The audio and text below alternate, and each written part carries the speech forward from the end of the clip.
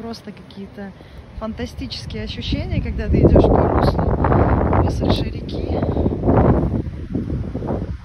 Ребята, это фантастика, это просто сказка. Я видела много живописных мест.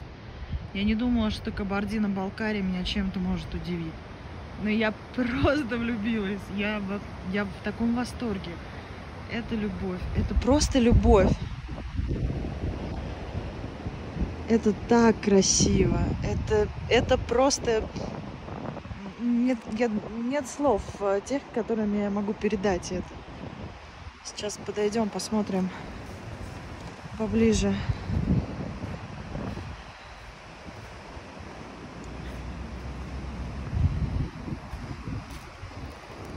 Какие-то коряги.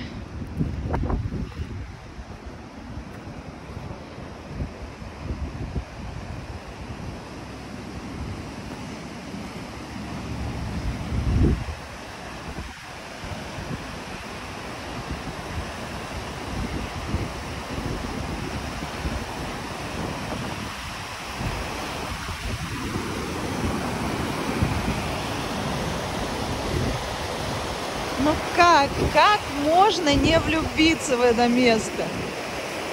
Я не, не представляю, как можно не влюбиться.